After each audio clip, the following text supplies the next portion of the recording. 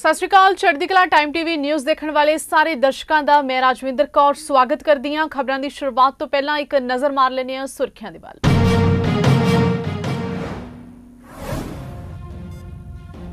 ਆਪ ਨੇ ਹਰਿਆਣਾ ਚੋਣਾਂ ਲਈ ਉਮੀਦਵਾਰਾਂ ਦੀ ਦੂਜੀ ਸੂਚੀ ਕੀਤੀ ਜਾਰੀ। ਭਾਜਪਾ ਕਾਂਗਰਸ ਦੇ ਬਾਗੀਆਂ ਨੂੰ ਬਣਾਇਆ ਉਮੀਦਵਾਰ। ਕਾਂਗਰਸ ਦੇ ਬਾਗੀ ਜਵਾਹਰ ਲਾਲ ਨੂੰ ਬਾਵਲ ਤੋਂ ਦਿੱਤੀ।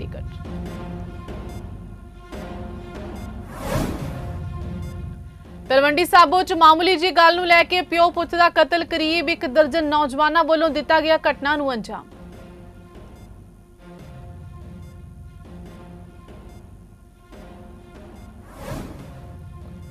ਰਾਜੌਰੀ ਚ ਸੁਰੱਖਿਆ ਬਲਾਂ ਨੇ ਐਨਕਾਊਂਟਰ ਦੌਰਾਨ ਦੋ ਅੱਤਵਾਦੀ ਕੀਤੇ ਢੇਰ ਘੁਸਪੈਠ ਦੀ ਕੋਸ਼ਿਸ਼ ਨਾਕਾਮ ਇਲਾਕੇ ਦੀ ਤਲਾਸ਼ੀ ਮੁਹਿੰਮ ਜਾਰੀ।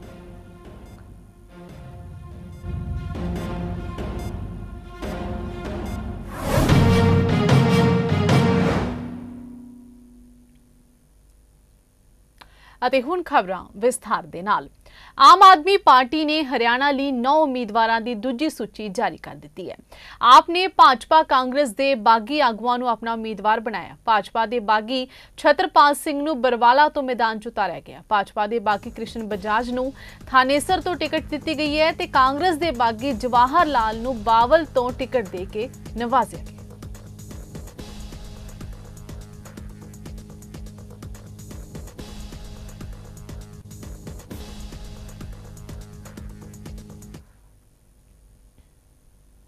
ਵਿਦੇਸ਼ੀ ਦੌਰੇ ਦੌਰਾਨ ਰਾਹੁਲ ਗਾਂਧੀ ਨੇ ਆਰਐਸਐਸ ਬਾਰੇ ਬੋਲਦੇ ਹੋਏ ਸਿੱਖਾਂ ਦੀ ਦਸਤਾਰ ਤੇ ਗੁਰਦੁਆਰਾ ਸਾਹਿਬ ਜਾਣ ਨੂੰ ਲੈ ਕੇ ਵੱਡਾ ਬਿਆਨ ਦਿੱਤਾ ਜਿਸ ਨਾਲ ਸਿਆਸਤ ਗਰਮਾ ਗਈ ਹੈ। ਇਹਨਾਂ ਸ਼ਬਦਾਂ ਦੀ ਮਨਜਿੰਦਰ ਸਿਰਸਾ ਨੇ ਨਿੰਦਾ ਕੀਤੀ ਉਹਨੇ ਕਿਹਾ ਕਿ ਰਾਹੁਲ ਗਾਂਧੀ ਵੱਲੋਂ ਅਮਰੀਕਾ 'ਚ ਸਿੱਖਾਂ ਦੇ ਪ੍ਰਤੀ ਨਫ਼ਰਤ ਭਰੀ ਭੱਦੀ ਸ਼ਬਦਾਵਲੀ ਦਾ ਇਸਤੇਮਾਲ ਕੀਤਾ ਤੇ ਮੈਂ ਉਸ ਦੀ ਸਖਤ ਸ਼ਬਦਾਂ 'ਚ ਨਿੰਦਾ ਕਰਦਾ ਰਾਹੁਲ ਗਾਂਧੀ ਜੀ ਨੇ ਅੱਜ ਅਮਰੀਕਾ ਦੇ ਅੰਦਰ ਜੋ ਸਿੱਖਾਂ ਦੇ ਪ੍ਰਤੀ ਨਫ਼ਰਤ ਭਰੀ ਔਰ ਬਹੁਤ ਹੀ ਭੱਦੀ ਸ਼ਬਦਾਵਲੀ ਦਾ ਇਸਤੇਮਾਲ ਕੀਤਾ, ਮੈਂ ਉਹਦੀ ਕੜੇ ਸ਼ਬਦਾਂ 'ਚ ਨਿੰਦਾ ਕਰਦਾ ਇਹ ਕਹਿਣਾ ਕਿ ਭਾਰਤ ਦੇ ਅੰਦਰ ਸਿੱਖਾਂ ਦੀ ਦਸਤਾਰ, ਕੜਾ ਸੁਰੱਖਿਅਤ ਨਹੀਂ।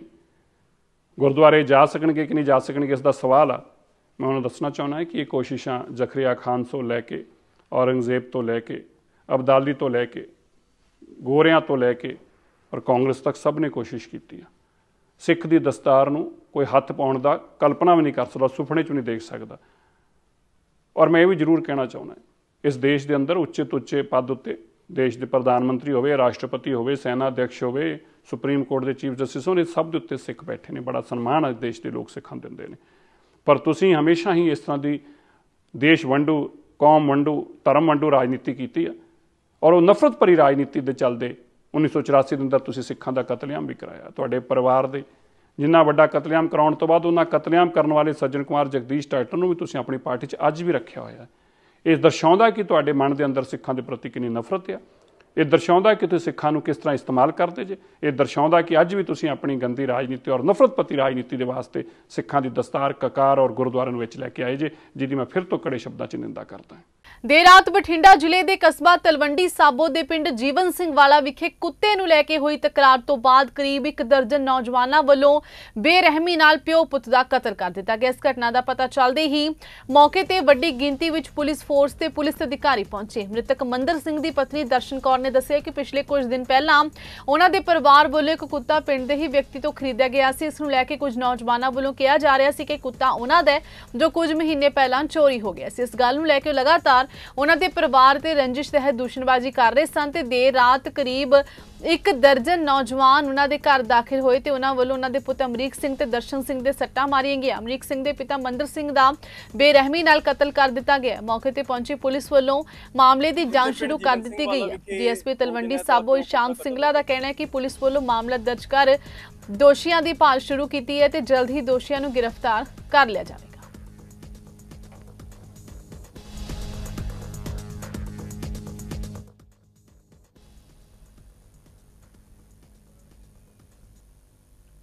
ਸਮਾਣਾ ਵਿਖੇ ਸਵਾਰੀਆਂ ਨਾਲ ਭਰੀ ਬੱਸ ਹਾਦਸੇ ਦਾ ਸ਼ਿਕਾਰ ਹੋ ਗਈ ਜਦੋਂ ਕਿ ਤੇਜ਼ ਰਫ਼ਤਾਰ ਟਿੱਪਰ ਨੇ ਬੱਸ ਨੂੰ ਟੱਕਰ ਮਾਰ ਦਿੱਤੀ। ਟੱਕਰ ਇੰਨੀ ਜ਼ਬਰਦਸਤ ਸੀ ਕਿ ਬੱਸ ਦੀ ਡਰਾਈਵਰ ਸੀਟ ਵਾਲਾ ਹਿੱਸਾ ਬੁਰੀ ਤਰ੍ਹਾਂ ਨੁਕਸਾਨਿਆ ਗਿਆ। ਜਿਸ ਦੌਰਾਨ ਬੱਸ ਡਰਾਈਵਰ ਵੀ ਗੰਭੀਰ ਜ਼ਖਮੀ ਹੋ ਗਿਆ ਜਿਸ ਨੂੰ ਹਸਪਤਾਲ ਭਰਤੀ ਕਰਵਾਇਆ ਗਿਆ। ਦੱਸਦੀ ਕਿ ਟਿੱਪਰ ਬੱਸ ਨੂੰ ਓਵਰਟੇਕ ਕਰਨ ਦੀ ਕੋਸ਼ਿਸ਼ ਕਰ ਰਿਹਾ ਸੀ, ਜਿਸ ਦੌਰਾਨ ਇਹ ਹਾਦਸਾ ਵਾਪਰਿਆ।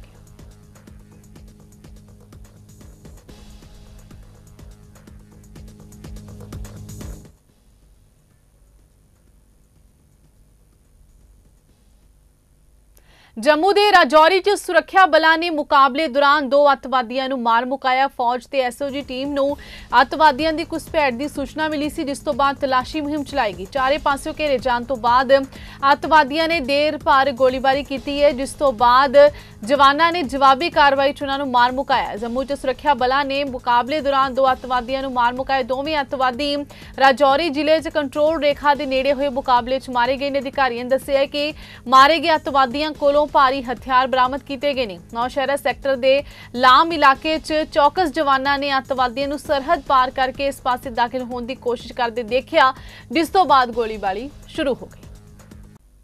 ਸ਼੍ਰੀ ਗੁਰੂ ਨਾਨਕ ਦੇਵ ਜੀ ਦੇ 537ਵੇਂ ਵਿਆਹ ਪੁਰਬ ਨੂੰ ਲੈ ਕੇ ਅੱਜ ਵੱਡੀ ਤਾਦਾਦ ਵਿੱਚ ਸੰਗਤ ਬਟਾਲਾ ਵਿਖੇ ਗੁਰਦੁਆਰਾ ਸ਼੍ਰੀ ਡੇਰਾ ਸਾਹਿਬ ਤੇ ਸ਼੍ਰੀ ਕੰਧ ਸਾਹਿਬ ਵਿਖੇ ਨਤਮਸਤਕ ਹੋਣ ਲਈ ਪਹੁੰਚ ਰਹੀ ਹੈ।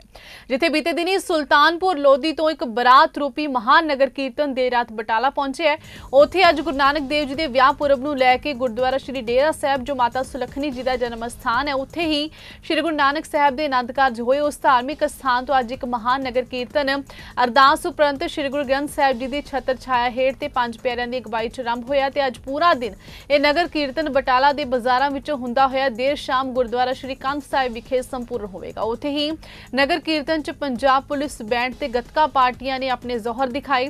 ਸ਼੍ਰੋਮਣੀ ਗੁਰਦੁਆਰਾ ਪ੍ਰਬੰਧਕ ਕਮੇਟੀ ਦੇ ਪ੍ਰਧਾਨ ਹਰਜਿੰਦਰ ਸਿੰਘ ਧਾਮੀ ਵੀ ਇਸ ਨਗਰ ਕੀਰਤਨ ਵਿੱਚ ਪਹੁੰਚੇ ਧਾਰਮਿਕ ਤੇ ਰਾਜਨੀਤਿਕ ਆਗੂ ਵੀ ਨਗਰ ਕੀਰਤਨ ਚ ਨਤਮਸਤਕ ਹੋਣ ਲਈ ਪਹੁੰਚੇ। ਜਿਨ੍ਹਾਂ ਕਿਹਾ ਕਿ ਇਸ ਵਿਆਹ ਪੁਰਬ ਨੂੰ ਮਨਾਉਣ ਲਈ ਲੱਖਾਂ ਦੀ ਤਾਦਾਦ ਵਿੱਚ ਸੰਗਤ ਦੀ ਆਮਦ ਹੈ ਤੇ ਉਹਨਾਂ ਵੱਲੋਂ ਵੀ ਇੰਤਜ਼ਾਮ ਪੂਰੇ ਕੀਤੇ ਗਏ ਨੇ। ਉੱਥੇ ਉਹਨੇ ਕਿਹਾ ਕਿ ਸ਼੍ਰੀ ਗੁਰੂ ਨਾਨਕ ਦੇਵ ਜੀ ਦਿੱਤੇ ਉਪਦੇਸ਼ਾਂ ਨਾਲ ਹਰ ਸਿੱਖ ਨੂੰ ਜੋੜਨ ਦੀ ਲੋੜ ਹੈ ਤੇ ਉੱਥੇ ਹੀ ਇਸ ਪੁਰਬ ਨੂੰ ਲੈ ਕੇ ਸੰਗਤ 'ਚ ਵੀ ਕਾਫੀ ਉਤਸ਼ਾਹ ਦੇਖਣ ਨੂੰ ਮਿਲਿਆ। ਇਸ ਨਗਰ ਕੀਰਤਨ 'ਚ ਵੱਡੀ ਗਿਣਤੀ ਦੇ ਵਿੱਚ ਸੰਗਤ ਨਤਮਸਤਕ ਹੋਣ ਲਈ ਪਹੁੰਚੀ।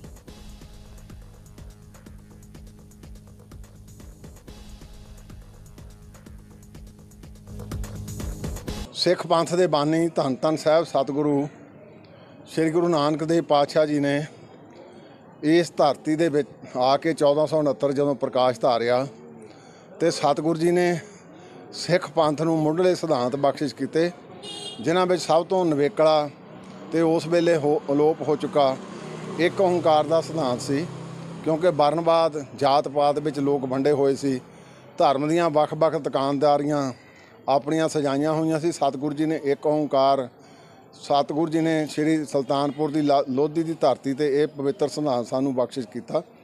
ਸਤਿਗੁਰੂ ਜੀ ਨੇ ਜਿੰਨੇ ਵੀ ਸਾਨੂੰ ਸਾਰੇ ਸਿਧਾਂਤ ਬਖਸ਼ਿਸ਼ ਕੀਤੇ, ਗੁਰਮਤ ਬਖਸ਼ਿਸ਼ ਕੀਤੀ, ਉਹਦੇ ਤੇ ਸਤਿਗੁਰੂ ਜੀ ਆਪ ਵੀ ਚੱਲੇ ਤੇ ਸਿੱਖਾਂ ਨੂੰ ਵੀ ਆਦੇਸ਼ ਕੀਤਾ ਕਿ ਤੁਸੀਂ ਵੀ ਇਹ ਜਿਹੜੀਆਂ ਪੈੜਾਂ ਇਹਨਾਂ ਦੇ ਉੱਤੇ ਚੱਲਣਾ। ਸੋ ਸਤਿਗੁਰੂ ਜੀ ਨੇ ਗ੍ਰੇਸ ਦਾ ਆਸ਼ਰਮ ਧਾਰਨ ਕੀਤਾ। ਅੱਜ ਵਿਆਹ ਪੁਰਬ ਉਹਨਾਂ ਦਾ, ਸਾਰੀ ਸੰਗਤ ਜਿਹੜੀ ਆ, ਉਹ ਮਨਾ ਰਹੀ ਆ। ਗੁਰੂ ਚਰਨਾਂ ਚ ਅਰਦਾਸ, ਅਸੀਸ, ਸਤਿਗੁਰੂ ਜੀ ਬਖਸ਼ਿਸ਼ ਕਰਿਓ। ਇਹ ਤਪਦੀਆਂ ਜਿਹੜੀਆਂ ਰੂਹਾਂ ਰੂਹਾਂ ਕਾਮ, ਕ੍ਰੋਧ, ਲੋਭ, ਮੋਹ, ਹੰਕਾਰ ਦੇ ਵਿੱਚ ਗੁਰਸ਼ਬਦ ਦੀ ਬਖਸ਼ਿਸ਼ ਕਰਕੇ ਤੁਹਾਡਾ ਵਿਆਹ ਪੁਰਬ ਵੀ ਮਨਾਉਣ ਤੇ ਤੁਹਾਡੇ ਚਰਨਾਂ ਤੋਂ ਆਪਣੀ ਅਸੀਸ ਵੀ ਮੰਗਣ। ਅੰਤਾਂ ਸ਼੍ਰੀ ਗੁਰੂ ਨਾਨਕ ਦੇਵ ਜੀ ਦੇ ਵਿਆਹ ਪੁਰਬ ਨੂੰ ਲੈ ਕੇ ਦੇਸ਼ ਦੁਨੀਆ ਦੇ ਵਿੱਚ ਸੰਗਤ ਦੇ ਵਿੱਚ ਭਾਰੀ ਉਤਸ਼ਾਹ ਦੇਖਣ ਨੂੰ ਮਿਲ ਰਿਹਾ ਹੈ। ਇਸ ਦੇ ਨਾਲ ਹੀ ਸ਼੍ਰੀ ਗੁਰੂ ਨਾਨਕ ਦੇਵ ਜੀ ਦੀ ਬਰਾਤ ਲੈ ਕੇ ਸੰਗਤਾਂ ਸੁਲਤਾਨਪੁਰ ਲੋਧੀ ਤੋਂ ਚੱਲ ਕੇ ਜਦ ਦਰਿਆ ਬਿਆਸਪੁਰ ਰਾਹੀਂ ਅੰਮ੍ਰਿਤਸਰ ਜ਼ਿਲ੍ਹੇ 'ਚ ਦਾਖਲ ਹੋਈਆਂ ਤੇ ਇਸ ਦੌਰਾਨ ਦਰਿਆ ਕੰਢੇ ਸਥਿਤ ਹਾਈਟੈਕ ਪੁਲਿਸ ਨਾਕਾ ਬਿਆਸ ਵਿਖੇ ਡੀਐਸਪੀ ਬਾਬਾ ਬਕਾਲਾ ਸਾਹਿਬ ਸੁਵਿੰਦਰਪਾਲ ਸਿੰਘ ਦੀ ਅਗਵਾਈ ਹੇਠ ਬਾਬਾ ਨਾਨਕ ਜੀ ਦੀ ਬਰਾਤ ਲੈ ਕੇ ਪੁੱਜੀਆਂ ਸੰਗਤਾਂ ਦਾ ਨਿੱਘਾ ਸਵਾਗਤ ਕੀਤਾ ਗਿਆ। ਇਸ ਦੇ ਨਾਲ ਹੀ ਜ਼ਿਲ੍ਹੇ ਵਿੱਚ ਦਾਖਲ ਹੋਣ ਤੇ ਪੰਜਾਬ ਪੁਲਿਸ ਦੀਆਂ ਵੱਖ-ਵੱਖ ਟੁਕੜੀਆਂ ਵੱਲੋਂ ਬਾਬਾ ਨਾਨਕ ਜੀ ਦੀ ਬਰਾਤ ਨੂੰ ਸਤਿਕਾਰ ਵਜੋਂ ਗਾਰਡ ਆਫ ਆਨਰ ਦਿੱਤਾ ਗਿਆ।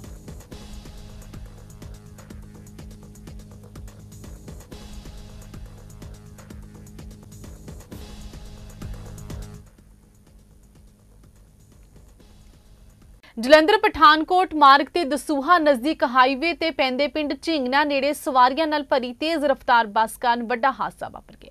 ਜਾਣਕਾਰੀ ਮੁਤਾਬਿਕ ਸੜਕ ਤੇ ਪੈਦਲ ਜਾ ਰਹੇ ਇੱਕੋ ਪਰਿਵਾਰ ਦੇ ਤਿੰਨ ਜੀਆਂ ਨੂੰ ਬੱਸ ਨੇ ਟੱਕਰ ਮਾਰ ਦਿੱਤੀ ਹੈ, ਜਿਸ ਵਿੱਚ ਇੱਕ ਜੀ ਦੀ ਮੌਤ ਹੋ ਗਈ, ਜਦੋਂ ਕਿ ਦੋ ਦੀ ਹਾਲਤ ਬੇहद ਗੰਭੀਰ ਦੱਸੀ ਜਾ ਰਹੀ ਹੈ। ਹਾਦਸਾ ਸਵੇਰੇ ਉਸ ਸਮੇਂ ਵਾਪਰੇ ਜਦੋਂ ਮਾਂ ਆਪਣੇ ਦੋ ਪੁੱਤਾਂ ਨਾਲ ਪੈਦਲ ਕੰਮ ਤੇ ਜਾ ਰਹੀ ਸੀ। ਇਸ ਦੌਰਾਨ ਪ੍ਰਾਈਵੇਟ ਰਾਜਧਾਨੀ ਕੰਪਨੀ ਦੀ ਬੱਸ ਨੇ ਉਹਨਾਂ ਨੂੰ ਟੱਕਰ ਮਾਰ ਦਿੱਤੀ। ਹਾਦਸੇ ਵਿੱਚ ਸੁਖਵਿੰਦਰ ਸਿੰਘ ਦੀ ਮੌਤ ਹੋ ਗਈ, ਜਦੋਂ ਕਿ ਉਸ ਦੀ ਮਾਂ ਪਰਮਜੀਤ ਕੌਰ ਤੇ ਭਰਾ ਅਰਵਿੰਦਰ ਸਿੰਘ ਦੀ ਹਾਲਤ ਬੇहद ਗੰਭੀਰ ਦੱਸੀ ਜਾ ਰਹੀ ਹੈ, ਜਿਨ੍ਹਾਂ ਨੂੰ ਮੁੱਢਲੇ ਇਲਾਜ ਤੋਂ ਬਾਅਦ ਵੱਡੇ ਹਸਪਤਾਲ ਰੈਫਰ ਕਰ ਦਿੱਤਾ ਗਿਆ। ਹਾਦਸੇ ਤੋਂ ਬਾਅਦ ਪਿੰਡ ਵਾਸੀਆਂ ਵੱਲੋਂ ਨੈਸ਼ਨਲ ਹਾਈਵੇ ਪੂਰੀ ਤਰ੍ਹਾਂ ਜਾਮ ਲਗਾ ਕੇ ਧਰਨਾ ਲਗਾ ਦਿੱਤਾ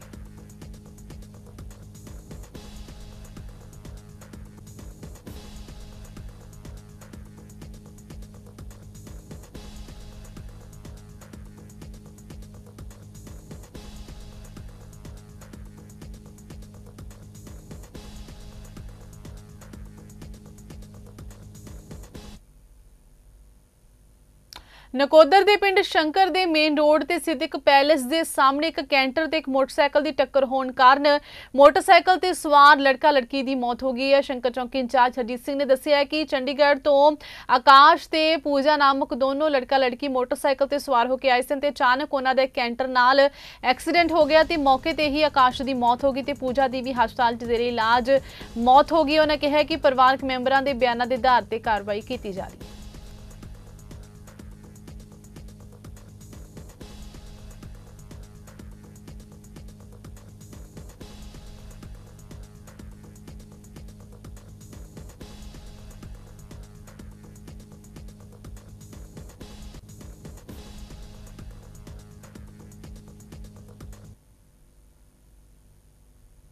ਉਧਰ ਗੁਰਦਾਸਪੁਰ ਦੇ ਪਿੰਡ ਸੇਖਵਾਂ ਦੇ ਰਹਿਣ ਵਾਲੇ 30 ਸਾਲਾ ਨੌਜਵਾਨ ਕੁਲਵਿੰਦਰ ਸਿੰਘ ਦੀ ਨਸ਼ੇ ਦੀ ਓਵਰਡੋਜ਼ ਕਾਰਨ ਮੌਤ ਹੋਣ ਦੀ ਖਬਰ ਹੈ। ਮ੍ਰਿਤਕ ਨੌਜਵਾਨ ਪਿਛਲੇ 3 ਸਾਲਾਂ ਤੋਂ ਨਸ਼ਾ ਕਰਨ ਦਾ ਆਦੀ ਸੀ। ਇਸ ਗਰੀਬ ਪਰਿਵਾਰ ਦੇ ਪਹਿਲਾਂ ਵੀ ਇੱਕ ਪੁੱਤ ਨਸ਼ੇ ਦੀ ਭੇਂਟ ਚੜ ਚੁੱਕਿਆ ਪਿੰਡ ਵਿੱਚ ਸ਼ਰੇਆਮ ਪਿੰਡ ਵਾਸੀਆਂ ਨੇ ਨਸ਼ਾ ਵਿਕਣ ਦੇ ਦੋਸ਼ ਵੀ ਲਗਾਏ।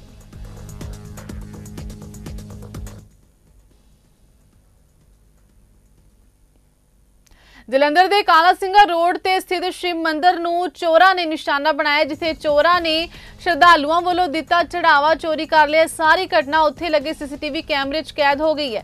ਮੰਦਿਰ 'ਚ ਦਾਖਲ ਹੋਣ ਲਈ ਚੋਰ ਛਾਤਰਾ ਹੀ ਰੱਸੀ ਬੰਨ ਕੇ ਦਾਖਲ ਹੋਏ। ਇਸ ਤੋਂ ਬਾਅਦ ਉਹਨਾਂ ਨੇ ਦਰਵਾਜ਼ਾ ਵੀ ਅੰਦਰੋਂ ਬੰਦ ਕਰ ਲਿਆ। ਚੋਰ ਇੰਨੇ ਸ਼ਾਤਰ ਸੀ ਕਿ ਉਹ ਇਸ਼ਾਰਿਆਂ ਨਾਲ ਹੀ ਗੱਲ ਕਰ ਰਹੇ ਸੀ। ਇਸ ਬਾਰੇ ਮੰਦਰ ਕਮੇਟੀ ਦੀ ਮੈਂਬਰ ਜੋਤੀ ਸ਼ਰਮਾ ਨੇ ਦੱਸਿਆ ਕਿ ਉਹਨਾਂ ਨੂੰ ਸਵੇਰੇ ਪਤਾ ਲੱਗਿਆ ਕਿ ਇੱਥੇ ਚੋਰੀ ਦੀ ਵਾਰਦਾਤ ਨੂੰ ਅੰਜਾਮ ਦਿੱਤਾ ਗਿਆ, ਜਿੱਥੇ ਚੋਰਾਂ ਨੇ ਗੋਲਕ ਦਾਨ ਦੇ ਡੱਬਿਆਂ ਨੂੰ ਚਾਦਰ ਦੀ ਮਦਦ ਨਾਲ ਉੱਪਰ ਚੁੱਕਿਆ ਤੇ ਉਹ ਇਸ ਵਿੱਚ ਰੱਖਿਆ ਸਾਰਾ ਦਾਨ ਚੋਰੀ ਕਰਕੇ ਆਪਣੇ ਨਾਲ ਲੈ ਗਏ, ਜਿਸ ਬਾਰੇ ਉਹਨਾਂ ਨੇ ਪੁਲਿਸ ਨੂੰ ਸੂਚਿਤ ਕਰ ਦਿੱਤਾ।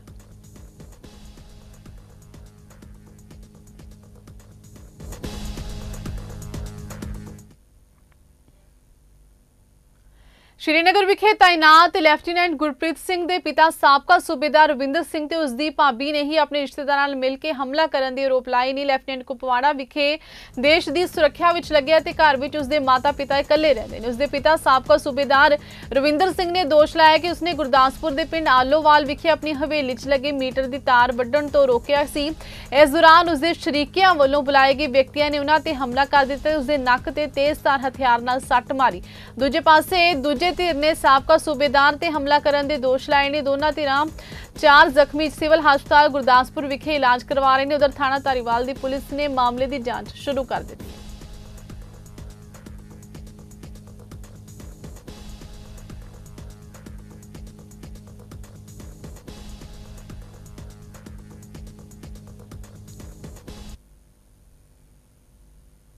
ਅੰਮ੍ਰਿਤਸਰ ਦੇ ਚਬਾਲ ਰੋਡ ਤੇ ਸਥਿਤ 27 ਕਨਾਲ ਏਕੜ ਦੇ ਵਿੱਚ ਬਣੀਆਂ 20 ਦੇ ਕਰੀਬ ਦੁਕਾਨਾਂ ਤੇ ਨਗਰ ਨਿਗਮ ਤੇ ਮਾਲ ਵਿਭਾਗ ਦੇ ਅਧਿਕਾਰੀ ਕਬਜ਼ਾ ਲੈਣ ਲਈ ਪਹੁੰਚੇ। ਇਸ ਦੌਰਾਨ ਪ੍ਰਸ਼ਾਸਨ ਦੇ ਅਧਿਕਾਰੀਆਂ ਨੂੰ ਦੁਕਾਨਦਾਰਾਂ ਦੇ ਵਿਰੋਧ ਦਾ ਸਾਹਮਣਾ ਕਰਨਾ ਪਿਆ। ਦੁਕਾਨਦਾਰਾਂ ਨੇ ਕਿਹਾ ਕਿ ਇਹ 27 ਕਨਾਲ ਜ਼ਮੀਨ ਹੈ, ਜਿਸ ਦੇ ਵਿੱਚ ਕਰੀਬ 20 ਦੁਕਾਨਾਂ ਨੇ ਤੇ ਹਰ ਇੱਕ ਦੁਕਾਨਦਾਰ ਨੇ 25 ਲੱਖ ਰੁਪਏ ਦੀ ਇੱਕ ਦੁਕਾਨ ਖਰੀਦੀ ਹੈ ਤੇ 2005 ਤੋਂ ਪਹਿਲਾਂ ਦੇ ਇਹਨਾਂ ਦੁਕਾਨਾਂ ਦੀਆਂ ਰਜਿਸਟਰੀਆਂ ਵੀ ਹੋ ਚੁੱਕੀਆਂ ਨੇ। ਲੇਕਿਨ ਹੁਣ ਮਾਲ ਮਹਿਕਮਾ ਤੇ ਨਗਰ ਨਿਗਮ ਦੇ ਅਧਿਕਾਰੀ ਜਾਣਬੁੱਝ ਕੇ ਉਹਨਾਂ ਨੂੰ ਤੰਗ ਪਰੇਸ਼ਾਨ ਕਰ ਰਹੇ ਨੇ।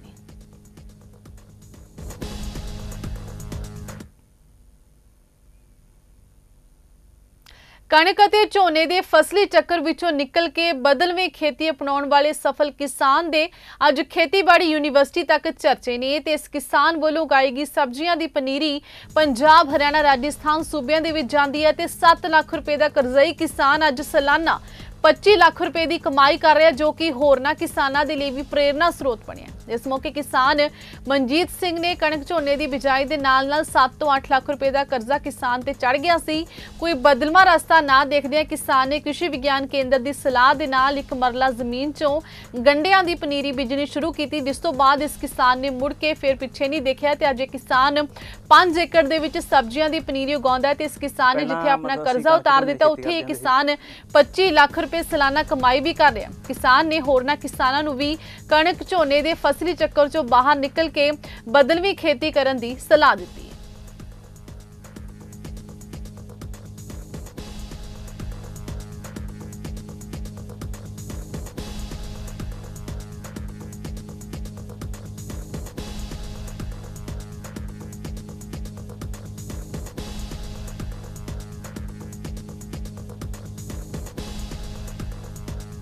ਪਹਿਲਾਂ ਮਤਲਬ ਅਸੀਂ ਕਣਕ ਝੋਨੇ ਦੀ ਖੇਤੀ ਕਰਦੇ ਹੁੰਦੇ ਸੀ ਸਟਾਰਟਿੰਗ ਜੀ ਅਤੇ ਉਸ ਤੋਂ ਮੈਨੂੰ ਕਣਕ ਝੋਨੇ ਸਾਨੂੰ ਬਾਹਲਾ ਜ਼ਿਆਦਾ ਮੁਨਾਫਾ ਨਹੀਂ ਲੱਗਿਆ ਜੀ।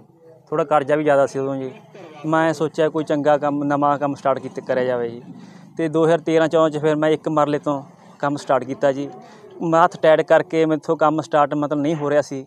ਫਿਰ ਮੈਂ ਆਪਣੇ ਘਰ ਵਾਲੀ ਨਾਲ ਸਲਾਹ ਕੀਤੀ ਜੀ। ਫਿਰ ਉਹਦੀ ਬਾਲੀਆਂ ਸੀ ਗਹਿਣੇ ਕਰਕੇ ਇਹ ਕੰਮ ਸਟਾਰਟ ਕੀਤਾ। ਇੱਕ ਫਿਰ ਇੱਕ ਮਰਲਾ ਇਹਦਾ ਸਟਾਰਟ ਕੀਤਾ ਮੈਨੂੰ ਮੈਂ ਥੋੜੀ ਪਨੀਰੀ ਲਾਈਆਂ ਜੀ, ਇੱਕ ਮਰਲੇ 'ਚ ਆਪਣਾ ਮਿਰਚ, ਬੈਂਗਣ, ਟਮਾਟਰ, ਇਹ ਮੈਨੂੰ ਚੰਗਾ ਰਿਸਪੌਂਸ ਮਿਲਿਆ ਜੀ। ਫਿਰ ਅਗਲੇ ਵਾਰ ਅਸੀਂ ਇੱਕ ਕਨਾਲ ਲਾਈ, ਤੇ ਇਸ ਤਰ੍ਹਾਂ ਮੇਰਾ ਕੰਮ ਵੱਧਦਾ ਗਿਆ ਤੇ ਅੱਜ ਦੀ ਘੜੀ ਬਹੁਤ ਵਧੀਆ ਸੈਟਿੰਗ ਚੱਲ ਰਹੀ ਹੈ। ਅੱਜ ਦੀ ਘੜੀ ਮੈਂ ਇੱਕ ਮਰਲੇ ਤੋਂ ਹੁਣ 5 ਏਕੜ ਤੱਕ ਮੇਰੇ ਕੋਲ ਪਨੀਰੀਆਂ ਦਾ, ਪਿਆਜ਼ ਦਾ ਸੀਡ ਦਾ ਸ- ਕੰਮ ਲੈ ਗਿਆ ਮੈਂ। ਤੇ ਅੱਜ ਦੀ ਘੜੀ ਮੈਂ 4 ਤੋਂ 5 ਲੱਖ ਰੁਪਏ ਇੱਕ ਏਕੜ ਕਿੱਲੇ ਮਗਰ ਮੈਂ ਮਨ- ਕਮਾ ਰਿਹਾ ਜੀ।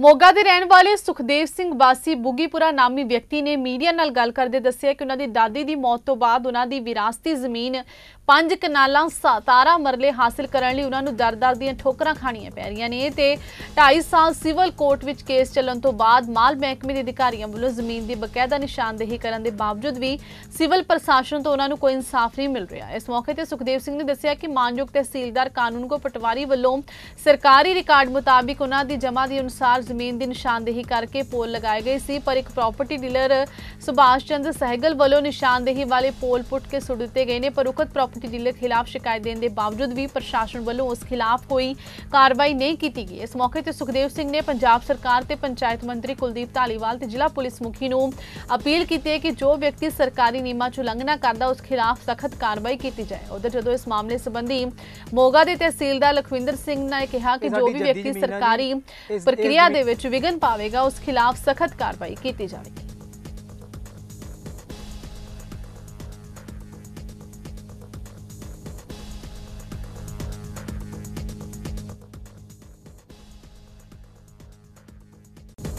ਇਹ ਸਾਡੀ ਜੱਦੀ ਜ਼ਮੀਨ ਆ ਜੀ। ਇਸ ਇਸ ਜ਼ਮੀਨ ਤੇ ਅਸੀਂ ਕਬਜ਼ਾ ਕੀਤਾ ਹੈ, ਸਾਨੂੰ ਮਿਲਿਆ ਕਬਜ਼ਾ ਸਰਕਾਰ ਦੁਆਰਾ। ਇਸ ਇਸ ਜ਼ਮੀਨ ਦੀ ਤਕਸੀਮ ਕਰਵਾਈ ਗਈ ਆ, ਉਹਦਾ ਕੱਲਾ ਕੱਲਾ ਕਾਗਜ਼ ਮੇਰੇ ਕੋਲ ਮੌਜੂਦ ਆ ਜੀ। ਪਰ ਦੂਜੀ ਧਿਰ ਨਾ ਤਾਂ ਕਦੇ ਕਿਸੇ ਅਫਸਰ ਕੋਲੇ ਪਹੁੰਚੀ ਆ ਤੇ ਨਾ ਹੀ ਕਦੇ ਸਾਡੇ ਮੱਥੇ ਲੱਗੀ ਆ। ਪਰ ਉਹ ਸਾਨੂੰ ਬਹੁਤ ਪਰੇਸ਼ਾਨ ਕਰ ਰਹੇ ਨੇ। ਸਾਨੂੰ ਮਾਲ ਮਹਿਕਮੇ ਨੇ ਕਬਜ਼ਾ ਇੱਥੇ ਦਵਾ ਦਿੱਤਾ ਸੀ। ਨਿਸ਼ਾਨਦੇਹੀ ਹੋ ਚੁੱਕੀ ਸੀ, ਦਖਲ ਪੈ ਚੁੱਕਾ, ਸਾਰਾ ਕੁਝ ਹੋ ਚੁੱਕਾ ਹੈ। ਉਸ ਮੁਤਾਬਕ ਸਾਡੇ ਕੋਲ ਜੀ ਸਟੇ ਵੀ ਹੈ। ਅਦਾਲਤ ਨੇ ਵੀ ਸਾਡੀ ਮਾਲਕੀ ਪ੍ਰੂਫ ਕਰ ਦਿੱਤੀ ਹੈ।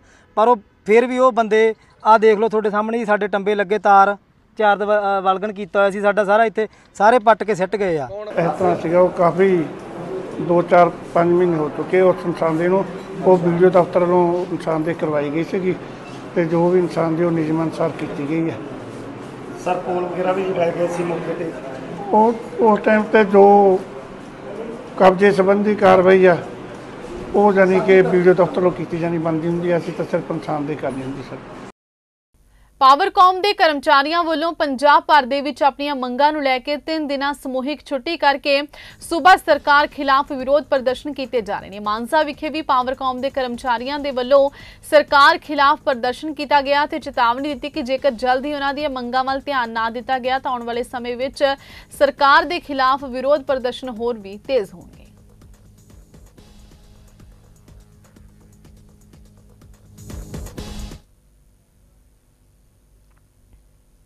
ਬੁਢਲਾਡਾ ਦੇ ਨਜ਼ਦੀਕ ਪਿੰਡ ਕੁਲਾਣਾ ਵਿਖੇ ਪਲਾਟ ਦੇ ਝਗੜੇ ਨੂੰ ਲੈ ਕੇ ਕੁਝ ਲੋਕਾਂ ਵੱਲੋਂ ਘਰ ਅੰਦਰ ਦਾਖਲ ਹੋ ਕੇ ਇੱਕ ਵਿਅਕਤੀ ਨੂੰ ਗੰਭੀਰ ਜ਼ਖਮੀ ਕਰਨ ਦਾ ਸਮਾਚਾਰ ਪ੍ਰਾਪਤ ਹੋਇਆ ਹੈ। ਜਾਣਕਾਰੀ ਅਨੁਸਾਰ ਪਿੰਡ ਕੁਲਾਣਾ ਦੇ ਚਮਕੌਰ ਸਿੰਘ ਨਾਂ ਦੇ ਵਿਅਕਤੀ ਦਾ ਇੱਕ ਪਲਾਟ ਦੇ ਝਗੜੇ ਨੂੰ ਲੈ ਕੇ ਵਿਵਾਦ ਚੱਲ ਰਿਹਾ ਸੀ। ਇਸ ਦੌਰਾਨ ਨਜ਼ਦੀਕੀ ਵਿਅਕਤੀਆਂ ਵੱਲੋਂ ਘਰ ਅੰਦਰ ਦਾਖਲ ਹੋ ਕੇ ਗੋਲੀਆਂ ਚਲਾ ਦਿੱਤੀਆਂ ਗਈਆਂ, ਜਿਸ ਵਿੱਚ 30 ਸਾਲਾ ਗੁਰਜਿੰਦਰ ਸਿੰਘ ਵਾਸੀ ਕੁਰਕਣੀ ਜ਼ਖਮੀ ਹੋਇਆ, ਜਿਸ ਨੂੰ ਸਰਕਾਰੀ ਹਸਪਤਾਲ ਬੁਢਲਾਡਾ ਵਿਖੇ ਦਾਖਲ ਕਰਾਇਆ ਗਿਆ। ਇਸ ਸੰਬੰਧੀ ਡੀਐਸਪੀ ਰਮਨਪ੍ਰੀਤ ਸਿੰਘ ਗਿੱਲ ਨੇ ਦੱਸਿਆ ਕਿ ਕੁਲਾਣਾ ਵਿਖੇ ਹੋਈ ਫਾਇਰਿੰਗ ਦੇ ਦੋਸ਼ ਦੋਸ਼ੀਆਂ ਨੂੰ ਅਸਲੇ ਸਮੇਤ ਕਾਬੂ ਕੀਤਾ ਗਿਆ, ਜਿਸ ਵਿੱਚ ਪੰਜ ਮੁਲਜ਼ਮਾਂ ਤੇ ਪਰਚਾ ਦਰਜ ਕੀਤਾ ਗਿਆ।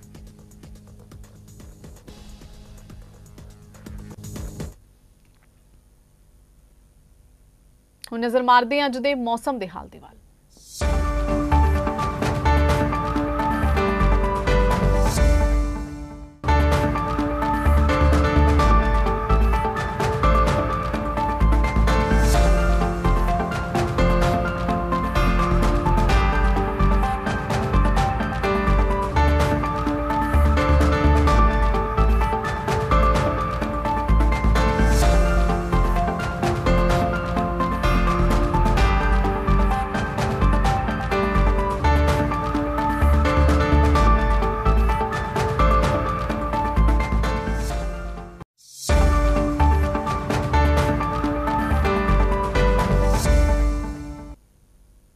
ਇਸ ਦੇ ਨਾਲ ਹੀ ਖਬਰਾਂ ਦਾ ਸਿਲਸਿਲਾ ਇੱਥੇ ਸਮਾਪਤ ਹੁੰਦਾ ਹੈ। ਨਵੀਆਂ ਤੇ ਤਾਜ਼ਾ ਖਬਰਾਂ ਦੇ ਨਾਲ ਫਿਰ ਹਾਜ਼ਰ ਹੋਵਾਂਗੇ। ਤਦ ਤੱਕ ਲਈ ਦਿਓ ਇਜਾਜ਼ਤ। ਧੰਨਵਾਦ।